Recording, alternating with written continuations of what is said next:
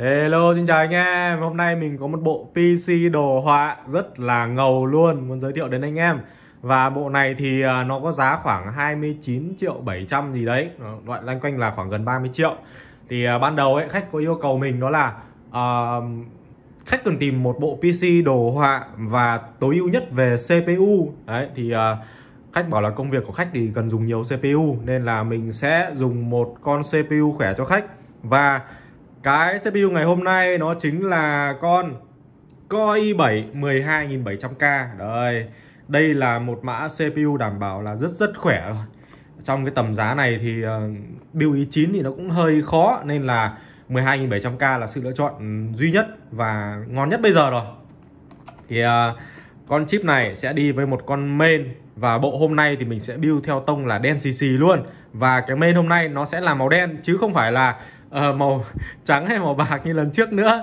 Nên là nhiều anh em nhìn có vẻ là hơi ngứa mắt thì hôm nay mình sẽ dùng một cái bộ uh, mà dùng bên đen luôn.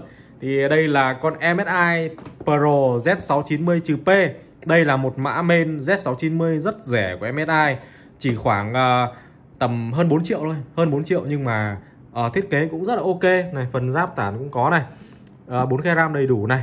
Ờ, uh, phây với tụ thì thôi khỏi phải bàn rồi vì nó là Z690 mà thoải mái cân 12.700k à, đấy thì hôm nay sẽ mình sẽ dùng con bên này. Và RAM thì mình cũng sẽ dùng RAM đen xì xì luôn. Đó là hai thanh RAM XPGD20 và đây là hai thanh RAM tản đen lùn. Để kết hợp với những cái tản nhiệt khí hầm hố ấy thì lắp nó sẽ dễ hơn. Và mỗi thanh 16GB tổng dung lượng là 32GB RAM. Đấy 12.700k và 32GB RAM thì anh em làm việc sẽ rất là ngon.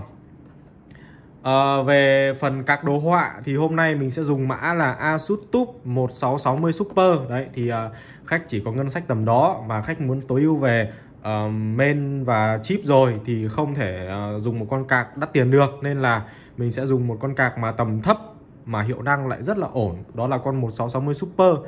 Uh, bây giờ mình tính sơ sơ ấy, ví dụ như là bây giờ anh em dùng một con 1650 giá nó hơn 3 triệu đúng không? Thì con 1660 Super giá chỉ có hơn 4 triệu thôi mà hiệu năng nó mạnh hơn con 1650 rất rất nhiều luôn.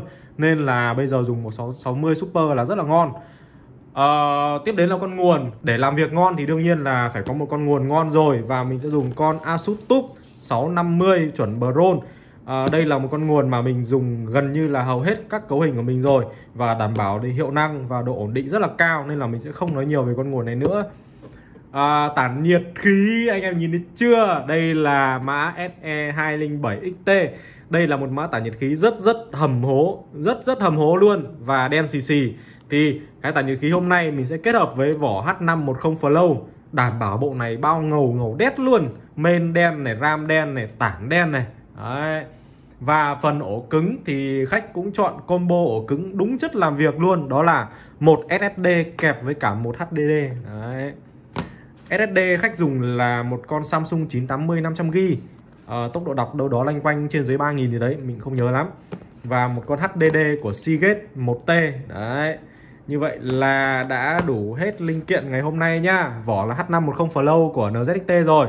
À đây quên quên quên. Dây nối dài đây anh em ạ. Đây một dây 24 pin Và một dây 8 pin Để cho cái bộ hôm nay nhìn nó clean nhất. Và mình sẽ dùng một cái đầu gập ngược Cho cái cạc đồ họa này Để cho nó đẹp nhất có thể rồi như vậy là mình đã điểm danh xong cái linh kiện của bộ ngày hôm nay và bây giờ mình sẽ cho tiến hành lắp đặt và sẽ sâu cho anh em xem. Chắc chắn rất nhiều anh em tò mò đấy để xem là ngoại hình nó như thế nào. Rồi chiến thôi anh em. Và đây là bộ PC đen xì xì. Sau khi đã lắp xong bộ này thì uh, so với các bộ mà mình à, hay lắp ấy thì anh em có thấy nó có gì uh, hơi hụt hẫng không? Vì là các bộ khác mình hay lắp thì uh, anh em thấy là cái cạc nó rất là to và dài đúng không?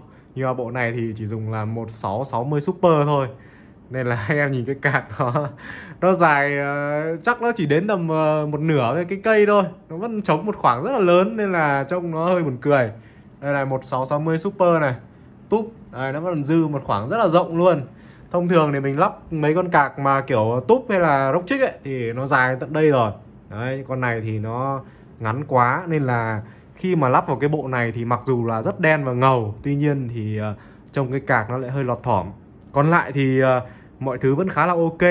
Cái vỏ đen xì xì này H510 Flow này một con tản nhiệt khí rất là đẹp của ID Cooling SE207 Mã này thì uh, mình đang có nhập về khá là nhiều Vì là đợt này anh em uh, build theo cái kiểu mà đen xì xì này cũng uh, nhiều. Uh, Cái này thì uh, dành cho những anh em mà không thích kiểu đèn đóm màu mè.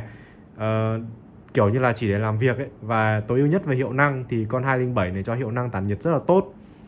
Còn lại thì à, với 30 triệu thì anh em sẽ có 12.700K này, Có Z590 Có 32GB RAM Và có một con cạc 1660 Super Để à, làm việc nhẹ nhàng, xuất hình đều rất là ok.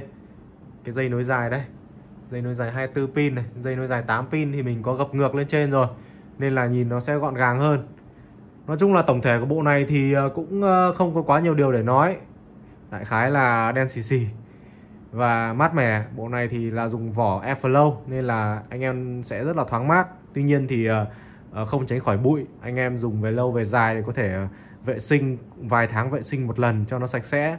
Vệ sinh thì anh em chỉ cần lấy cái chổi lông và quét quét bên trong thì là xong thôi.